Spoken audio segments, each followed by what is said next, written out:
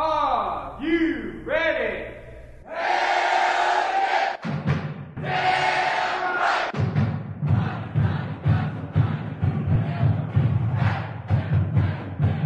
Welcome into our Charter Road Hospitality Studios here at the Town Place Suites here in Oxford, Mississippi, located right across from the Oxford Conference Center.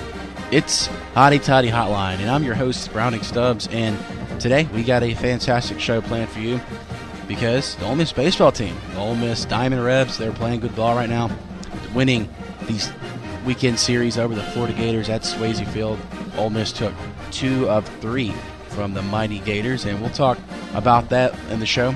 Also, the chancellor of the University of Mississippi, Dan Jones, is out as chancellor, so we'll have much more on kind of why that happened as well. And also, the Ole Miss basketball team call it March Sadness. It's no longer March Madness in Oxford because Ole Miss is elim- they're eliminated from the NCAA tournament after falling to the hands of the Xavier Musketeers. But on the other hand, the women's basketball team they're playing well. They just won their second game of the NIT, and they're going on to the third round where Matt Insell will face his father for the third time in his young career as, as the coach of the Rebels. He'll take on Middle Tennessee State this week. We'll talk about all of that in the show this week. And if you want to get in touch with the show, call 1 800 621 0042. That's the toll free number. And find us on Facebook at Hotty Toddy Hotline and Twitter at Hotty Toddy Hotline. Stick with us. We got a big show coming up this week for you on Hotty Toddy Hotline.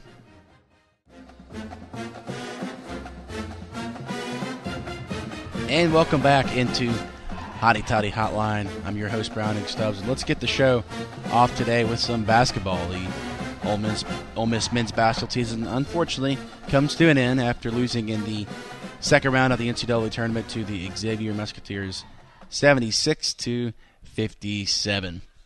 But I guess before we talk about the Xavier game, I think it's it's I think we owe it to the Rebels to kind of talk about what happened in Dayton, Ohio, which was last Tuesday, where Ole Miss they went into the game in the first four in Dayton as underdogs, and they played they played BYU, who had some great great shooters, Tyler Haws, Kyle Collinsworth on that team, and a lot of experts were picking BYU. No one was was, was really picking Ole Miss, and for for good reason. You know, they lost four out of five games going into the tournament, and Ole Miss they really showed no reason that they could win that game. But overall, uh, Ole Miss, what happened was first half they were down by 17 at halftime, and a, a lot of people thought that it, it was over for Ole Miss because guys aren't making shots. Jarvis Summers, you know, missed 10 shots in the first half, but Second half, I don't know what was said in the locker room, but Andy Kennedy, I think he he told them guys, look, we're in the tournament, we're we're down 17, but anything can happen. On that floor in Dayton, a few years back, back in 2011, BYU was on that same court, down 25 to Iona in the first half. Well, they came to rally and win that game. So Ole Miss, they had the same mindset. So in the second half, Ole Miss just dominates. And what they did was they got the ball inside. They got the ball inside to MJ Rhett, and MJ Rhett had a career game for Ole Miss, and he was he was a force blocking shots, getting alley oops. I mean, he was all over the place. Rhett finished the game with 20 points and had three blocks. Stefan Moody was back to his normal self, shot 10 of 18. That's one of the best shooting games he's played in a while, and he scored 26 points for the Rebs, made five threes dished out five assists. Jarvis Summers got some momentum in the second half as well. He got a double double in the game, 11 points, 10 assists, and it was honestly the one of the most exciting basketball games ever for Ole Miss. It was just their fifth tournament win all time, and it was really a special game, and and everyone was happy, and it was just it was great to see Ole Miss represent the university and and the SEC by winning a game. It was really a a testament to the hard work that they put in this year. And and though Andy Kennedy he gets criticized for his his coaching strategies because he, he likes to recruit shot blockers, but he's he's kind of he's kind of been uh, n- I guess not consistent in the postseason. But it was good for Andy Kennedy, and big Ole Miss got the win. However, against Xavier, it was a different story. Xavier was just really they were too big for Ole Miss, I think. And then the problem with, in that game was MJ Rhett, the X factor against, against BYU, was in foul trouble, and Matt Stainbrook, the big guy with the goggles that he wore, number 40 for Xavier, he dominated Ole Miss. Scores 20 points, nine rebounds, five assists. Not much Ole Miss could do. They were trailing 24 to 36 at halftime. And the second half, I mean, it seemed like whenever Ole Miss was making a run, Xavier would charge right back and make make a run of their own. And and really, the closest that Ole Miss got in that second half was they they got it to a 12 point game with 14 minutes, and then they got it to 13 with 10 minutes left. So really, uh, they and then oh, then now I I see they got it to 11 with eight minutes left. So I mean, they tried to get back in the game, but you know Xavier would just keep they just kept responding and playing good basketball. So it was it was a, a tough loss for Ole Miss, but really they just get outmatched and. Xavier, I mean, honestly, they played one of their best games of the season because they only went nine and nine in the Big East. The Big East not a major conference anymore, and it was kind of shocking that they they earned a six seed in the tournament, but nonetheless, Ole Miss put up a, a good fight. But we look at the the big picture of it now. Ole Miss they'll be losing five seniors, and those five seniors from MJ Rhett, Jarvis Summers, Ladarius White, and Terrence Smith, Aaron Jones, all those guys really were the the backbone of this team because their leadership was huge. And though Jarvis had a, a, bad shooting year, you know, Jarvis Summers, just a year away from averaging 70 points per game 48% shooting, just averages 12 points per game and 33% shooting this year. So he had a bad year, but you know he had help from from some of the other seniors. It was good that MJ Rhett emerged towards the end of the season as well. So Ole Miss, you know, unfortunately, they fall and their season is over. But Coach Kennedy said it himself. If if you guys thought we'd win an NCAA tournament game, I I call you crazy because no one was predicting Ole Miss to make the tournament, and it was truly it was, it was truly special that, that they were able to overcome all the odds and make make the NCAA tournament. It was it was really uh, a special season. But heading into next year, Jarvis Summers is gone, so you, you got to have a new point guard. Who will it be? We don't know yet. I mean, will Miss slide Stefan Moody over to the point guard? It's unlikely because you know he's got he got a lot of his buckets at shooting guard, but overall they're going to have to retool their offense. You know, some big guys will have to step up. Sebastian Saiz and Dwight Coleby will, will be good factors for next year, but point guard is going to be important. But I think Ole Miss has sent a message to recruits after winning a tournament game you know, having a good season, you can win here in Oxford. And with the new pavilion at Ole Miss coming to town, I mean, it's got to be an attractive place for recruits. So I, I, think there's momentum going into next season, and there's rumors that Ole Miss could land five-star guard Malik Newman, who would be the the, the, the most precious recruit Ole Miss basketball has ever received. He's five-star guard from Callaway High School in Jackson, Mississippi. But you know he's also considering schools like Kentucky and Duke as well. So we'll see what happens with that. But overall, good season for Ole Miss basketball. They finished 21 and 13. They go 11 and 7 in the SEC, and most importantly, they won an NCAA tournament game. They won a postseason game. Football team did not, so that's that's good for Ole Miss basketball.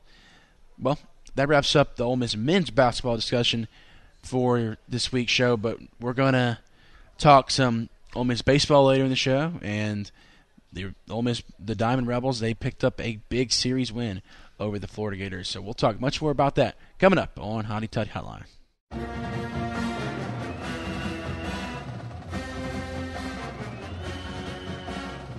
And welcome back into Hotty Toddy Hotline. Ole Miss baseball. What a weekend for the Rebels. They take two or three from the top ranked team in the nation, the Florida Gators. Florida had just lost one game going into the SEC season, you know, before taking on Ole Miss. And Ole Miss, they, boy, have they had, you know, one of the toughest schedules in the country. I mean, they played LSU last weekend in the three-game series, who was then number one at the time. Then before that, played some, you know, non-conference games against UCF and Louisville. So this team has been tested, and the record is 13 and 10 on the season. And that, and though they have had some slip ups you know, against William and Mary and Wright State and Stetson. You know, some head shaking losses there, but you know they they've had some other non-conference tough games, and you know 13 10 certainly it's a record that is definitely underachieving. But when you start conference play three and three against the two best teams, you know, frankly, in the Southeastern Conference, in Kentucky, or excuse me, not Kentucky, but in LSU and Florida, that's that's not a bad start, you know, for for a team that, uh, for a team that, you know, is coming off an Omaha appearance and everything. So that's so that's that's that's big news.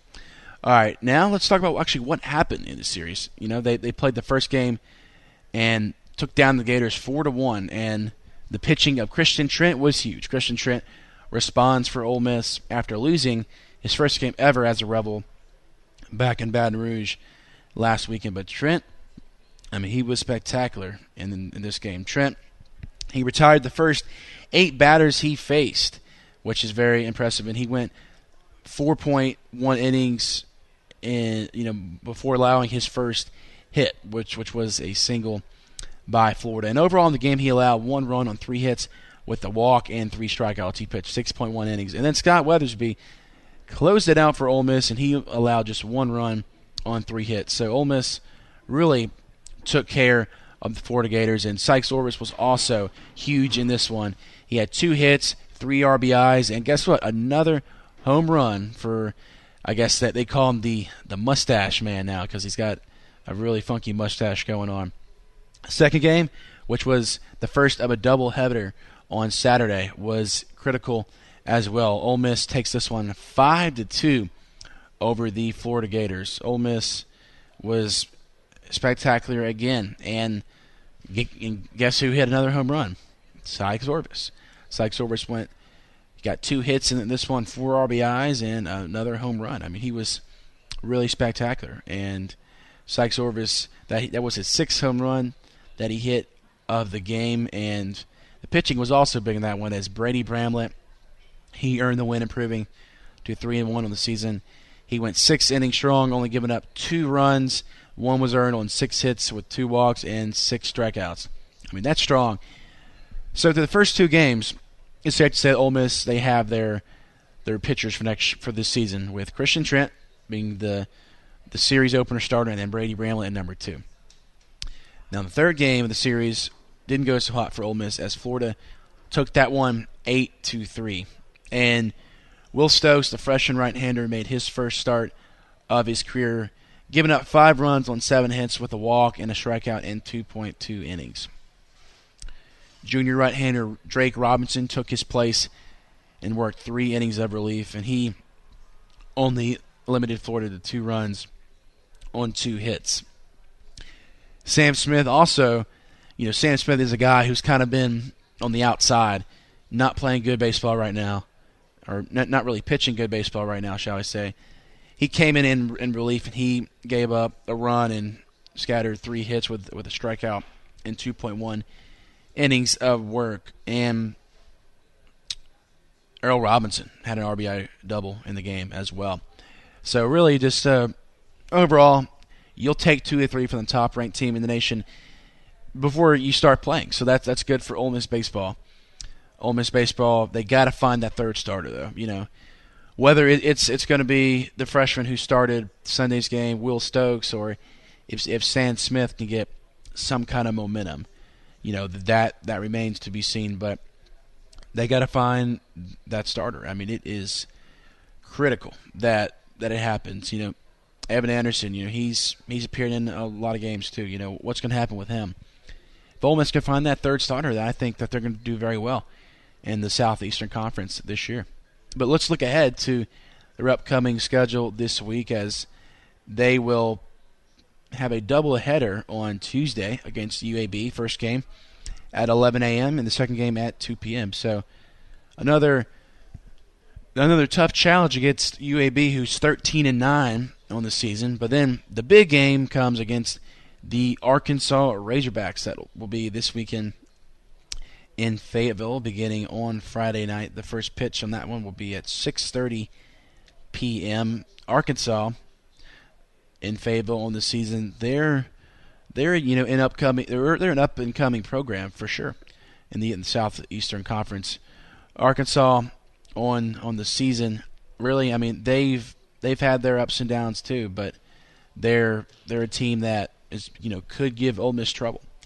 You know, and they're they actually uh, played a, a three game series last week against LSU, and they won one of the three in that one. So Arkansas, you know, got swept by Vanderbilt the weekend before that, but you know it's going to be certainly a an interesting series because it's it's the second road series of the season. Can Ole Miss go in there?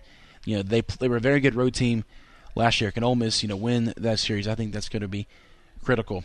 Sikes Orvis, it's good he's playing good baseball because for the season he really wasn't he really wasn't you know there. You know he, I, I feel like he lost a step, but he's kind of got it back, hitting two runs over the weekend for the Rebels, and hopefully Ole Miss will take care of, of business this coming week.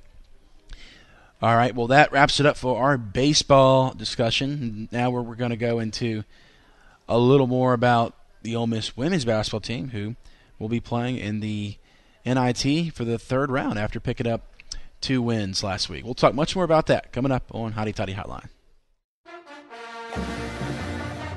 And welcome back into Hotty Toddy Hotline. And probably the biggest news that broke actually last Friday, right before the weekend, was the announcement that Dan Jones, the chancellor of the University of Mississippi, would be forced out of his position of chancellor. And Chris Kieffer wrote a nice piece from the Daily Journal explaining the decision about what happened with Dan Jones. But Dan Jones, you know, of, course, returned to Ole Miss just a week after four months of of cancer treatment. And actually he found out on his birthday that he was going to be removed from chancellor at Ole Miss, and it was announced that his contract was not renewed by the state college board, and the IHL elected or the IHL commissioner Jim Borsig later confirmed a statement that Jones would not be retained. His contract earns or ends on September 14th. And IHL is, is what, what they call it, the Institution of Higher Learning Commissioner. That's that's something that's them they made the decision about it. But overall, Dan Jones, you know, so, some things that he's done as chancellor, he led the 23,000 student university since 2009 after previously heading the UM Medical Center in Jackson. Jones said he was disappointed of the news, and there's been, you know, several disagreements about it, and there's actually, I think on Wednesday of this week, there's supposed to be over 1,000 people that are signed up to, I guess, have a a rally to save Dan Jones, and, then that's going to be Wednesday on, on, campus. Yes, on campus over the weekend, they were making signs. So that these are some of the students, but overall, just from from what some of the reports are saying, the major disagreement became in the medical department about how things are being run at Ole Miss. I, I can't speak too much of it, but but that's that's what's going on, and there's going to be meetings this week. There's actually one in Jackson about the IHL's decision, and they're they're explaining why he was released and and overall the the votes were seven in favor of removing him and two were against it. And that, so that's that's what's going on with Dan Jones. And and how, how this relates to Ole Miss sports well some members of the athletic department shared their thoughts on on Twitter and Ross Bjork tweeted Three years ago today, Dan Jones gave us a chance to lead athletics and be a part of the Ole Miss family. Forever grateful for his leadership. And to send a second tweet, Dan Jones is a great leader in higher education and gave his heart and soul to Ole Miss. Everyone in our athletics program will miss him. The head coach of the Ole Miss Rebels, Hugh Freeze, tweets Three years ago, Dan Jones gave us the chance to lead Rebel football and be part of the Ole Miss family. Forever grateful for his leadership.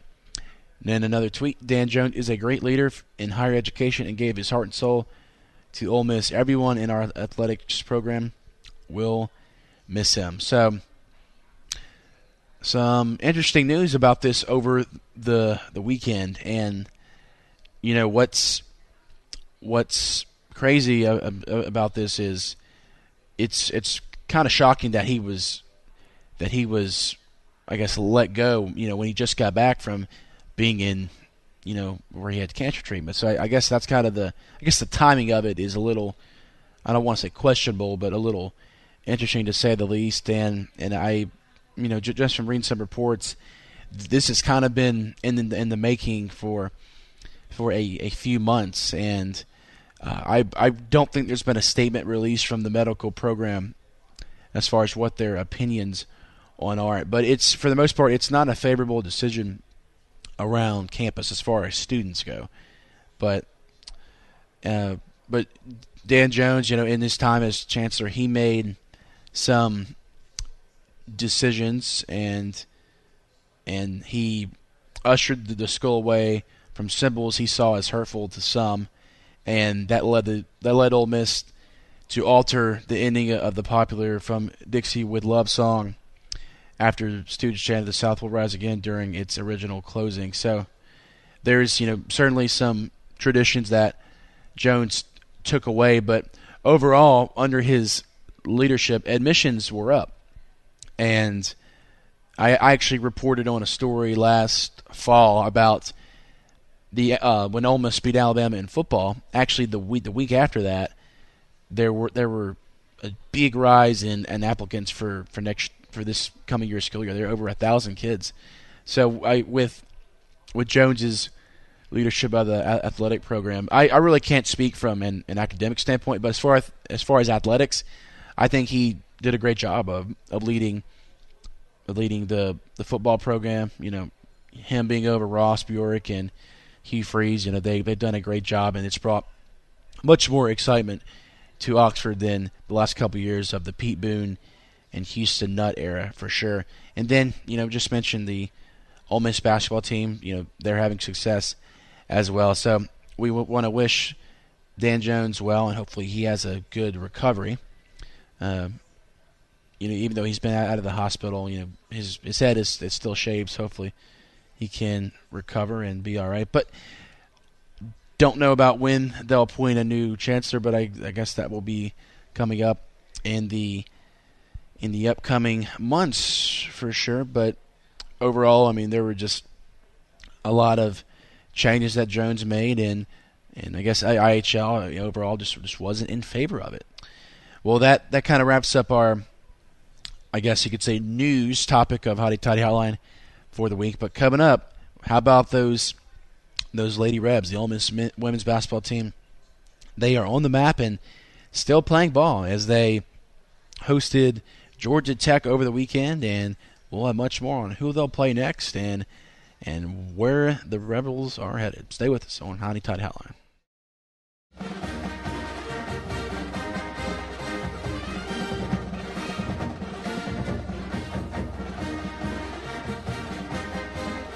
And welcome back into Hotty Toddy Hotline. I'm your host, Browning Stubbs, and one of our best friends of the show, that's Matt Insell. Matt Insell is the head coach of the Ole Miss women's basketball team, and Insell, he is feeling pretty good right now. Because his team, they just advanced past the second round of the women's NIT last week. They won their opening round game against UT Martin, and what was kind of ironic about that game was one of Matt's former players, Mo Jackson, or I guess you call her Monique Jackson, plays for UT Martin, and it was a good game. So let's let's talk about the first game It's UT Martin. Ole Miss won that one in Tad Smith Coliseum, 80 to 70.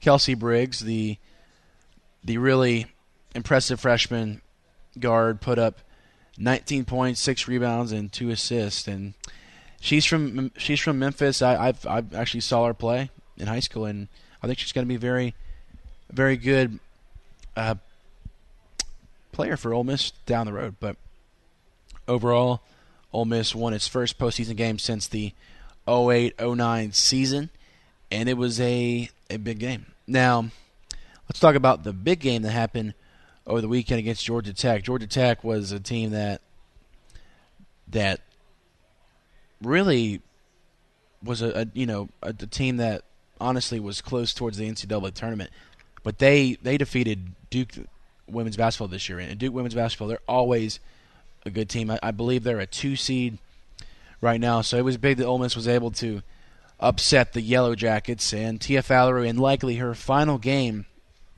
as or not final game but final home game shall we say as an Ole Miss Rebel really did it big. I mean, she scored 24 points, 10 rebounds, 2 assists. She was all over the place. Tia was spectacular. And Matt Insell said after the game, quote, What a great win for our program. I keep saying it, but in year two of our process, not a lot of people thought we would be here at this point. Georgia Tech is a very good basketball team, and they have one of the best players in the country on their team. I was really proud of the way we came out with energy and how we are, we we got going from the tip. I'm really proud of every one of our basketball players. We're a growing team, and we're getting better each and every day. What a great team win over a really impressive Georgia Tech basketball team.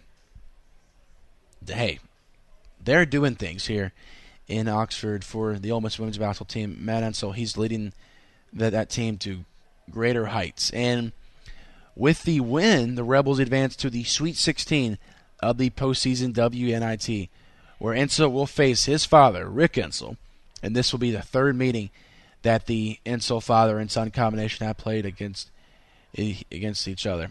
Insell uh, Rick Insell is the head coach of Middle Tennessee State. In case you guys forgot, the two teams met back on November 23rd in Oxford, where the Blue Raiders took that one 71 to 65. So overall, it's it's going to be a tough challenge to to to take to take down his father. You know, they uh, in the past, you know, they've been an NCAA tournament team, but had a, a little bit of a down year this year. But you know, Tia Faleru, you know, she knows that each of these final games could be her last, but but she picked up her 14th double double of the season against Georgia Tech, which was the 34th of her career. So she's going to go down playing really good basketball against MTSU, and that game will be on Thursday night at 7 p.m. Central, which will be in Murfreesboro, in Murfreesboro, Tennessee, and and on the on the rematch between the, the two teams, Ansel said it's going to be a big crowd. Everyone in the Middle Tennessee area is going to be there. I think they will bring a big crowd, and their fans are really excited about it. We're going to go down there and play basketball. That is just what we do. We have played in front of big crowds, and we'll be ready to go. So there's a confidence level there for Ansel, you know, taking on his father. I mean, it's it's really one of the I, I, I think one of the most compelling storylines in the NCAA for women's basketball. I mean, when you have an up and coming coach like Insell for uh, for Ole Miss, who really learned everything in his life about basketball from his father, Rick.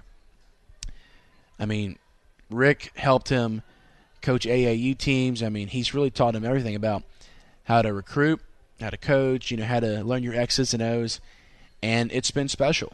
And it's it's going to be a, a good game. But let's hope that Matt can finally get that win against his father, which I'm, I'm sure that, that that's what he he dreams about when he sleeps. So it's going to be a good good matchup. Reminder that matchup set for Thursday at 7 p.m. And just some other news about the Ole Miss women's basketball team. If you guys haven't heard in the last week or so, but Tia Faleru was named unanimous AP first team All SEC selection for this past basketball season. Faleru was spectacular on, on the season. She averaged another double double, 14.7 points and 10.3 rebounds first game, and is the first player to lead the SEC in rebounding in back to back years since LSU's Sylvia Fowles back from 2006, 2007, and 2007 to 2008. And she's also the first to average a double figure rebound since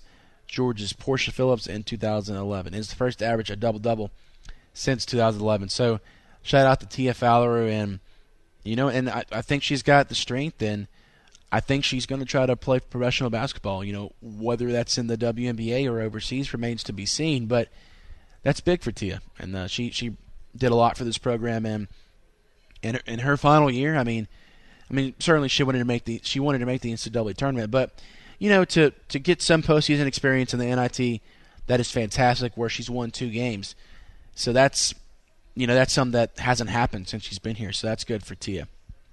All right, well that wraps up our Ole Miss women's basketball discussion. But coming up, we're going to wrap up the show with talking about what's ahead this week in Ole Miss sports and much, much more here on Hotty Toddy Hotline. Stay with us. We will be right back. And welcome back in to our Trotter Road Hospitality Studios here at Town Place Suites, across from the Oxford Conference Center. I mentioned we were here earlier, but there's also some good properties of Oxford, of uh, in Oxford of Trotter Road Hospitality that you don't want to miss. And there's the Hampton Inn located at 110 Heritage Drive, which is kind of over on Jackson Avenue. And it's a great place. I've stayed there. We've done the show there before. They're very nice to us. I mean, you don't want to miss out on the free breakfast from 6 a.m. to 10 a.m. and free coffee, which that's that's what I like. Give them a call at 662-232-2442. And also Holiday Inn Express right across the hill from the Hampton Inn over on Jackson 112 Heritage Drive. Give them a call 662-236-2500. And lastly, the last Trotter Road Hospitality property is right across the road from where we are today at the Hampton Inn 103 Ed Perry Boulevard. Give them a call 662-234-5535. And now let's talk about what's coming up this week in Ole Miss sports. The big sport that we just we talked about in our last segment was women's basketball. Though they don't have a home game, but they'll have a road game on Thursday at Middle Tennessee State. And baseball, they're in action for a doubleheader on Tuesday against the UAB Blazers. And uh, first game of the doubleheader is set for Tuesday at an early start there, 11 a.m. And baseball will conclude on Tuesday with a 2 p.m. game against the Blazers again. But then Ole Miss, the baseball team, they head into a big weekend series against the Arkansas Razorbacks, which will start on Friday at 6:30 p.m. Saturday's game will be at 6 p.m. and Sunday's game will be at 2:05 a matinee Sunday afternoon baseball game in Fayetteville. That's what's going on with baseball and and also the Ole Miss tennis team. They had a good weekend over the series as they as they defeated the Florida Gators. That was a, a big win as as they shut out number 15 Florida. Nik Scholtz clinches win at number one singles. Uh, so Nik Scholtz was again, you know, it, it was good, good that he came back this season as he's been really good for Ole Miss, who's you know number 13 in the country and, and everything. So it's it's good that Ole Miss has a good tennis program, you know, because we you know we really haven't seen that in the past. But Scholtz, he wins his first set six to three, his second set six three, and his third set six nothing. So that's good for Scholtz and singles and the Ole Miss tennis team. The Ole Miss tennis team, they will be back in action with a road game in Starkville against Mississippi State on Wednesday at 3 p.m. It's it's not that far of a drive, you know, only an hour and a half to Starkville. So if you want to go up there, go cheer on the Ole Miss tennis team. Also, there's some more Ole Miss sports coming up this week with women's golf. They they're playing in the Samford Intercollegiate Tournament in Hoover, Alabama, on Tuesday. Also, softball they're in action.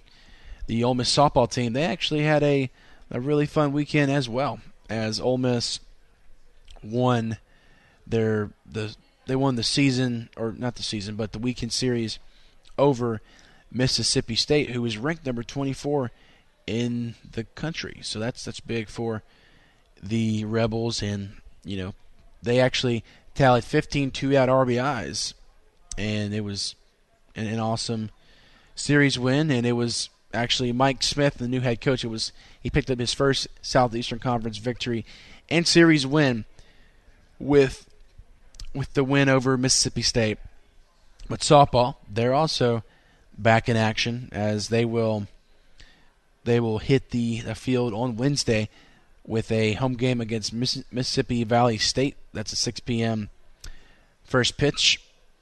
And yeah, but overall, the Ole Miss athletics, I mean, it's, it's going to be a, a big week. And then tennis is back in action with a home game against LSU on Friday. And also, softball will be traveling to Fayetteville also. So you got Ole Miss, Ole Miss baseball and Ole Miss softball both in Fayetteville over the weekend. So a very busy week for Ole Miss sports, and you know, with basketball over, it's you know come down to the final stretch here. So hopefully, the the baseball team can you know get back to the NCAA tournament, maybe make a run towards Omaha. I you know you, you know the tennis team is going to be doing really well as well. So, but as far as basketball, Ole Miss their season is done after losing to Xavier, but the SEC really did not have that great of a showing in the NCAA tournament with LSU. They they lost in the first round to NC State, and they missed their last six free throws in that one. LSU kind of choked that one away, honestly. And then the Georgia Bulldogs had a, a, a tough game against Michigan State. They weren't able to pull that one off. And the Arkansas Razorbacks, they won their first game against Wofford, but were eliminated by the North Carolina Tar Heels. But the only SEC team that's still alive is Kentucky. so the Kentucky Wildcats still undefeated, 36 0 on the season. They will host, or they, they will not host, but they will play West Virginia in the Midwest Region Sweet 16 on Thursday at 8:45. So college basketball, you know, hopefully you didn't have Ole Miss going too far in your bracket because they did not make it out of the round of 64. But great season overall for Ole Miss. You know, they they picked up their fifth win all time in the NCAA tournament. They're five and eight now, so that's really a good season for Andy Kennedy and company. But that's going to do it for Hotty Toddy Hotline this week for our executive producer John Rawl, and he's uh, he's really busy th- this week with all the Dan Jones stuff. But you can still reach him. Uh, he's he's on Twitter as as well. If you want to reach out to our producer who makes this show happen, that's that's John Rawl. And I'm trying to find John's Twitter on my Twitter. My Twitter's been a little slow this week, but it's just at at John Rawl, J O N R A W L. And well, that, that's it. But it was I was glad to host the show this week. But I'll see you guys next week. But you, have been listening to Hotty Toddy Hotline, a production of CRM Sports on the Colonel Reb Radio Network. See y'all next week.